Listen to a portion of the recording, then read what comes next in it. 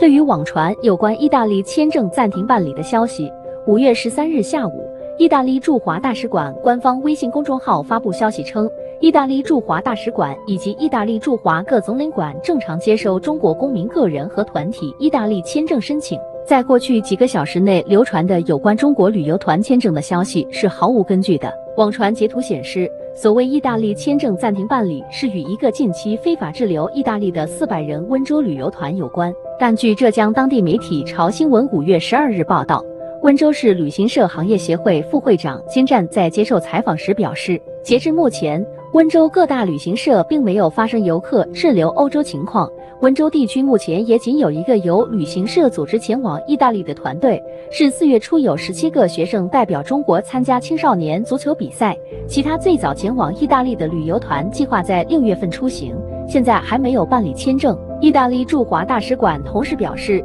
阿子团队旅游签证即将恢复。获授权的中国旅行社的注册工作正在进行中，请关注大使馆和各个总领馆的官方渠道来获取最新消息。公开资料显示，，S 团队旅游签证仅限于在被批准的一个国家内旅游，不可迁转，不可延期，且必须团进团出。疫情之前，意大利是中国游客赴欧洲旅游的主要目的地之一。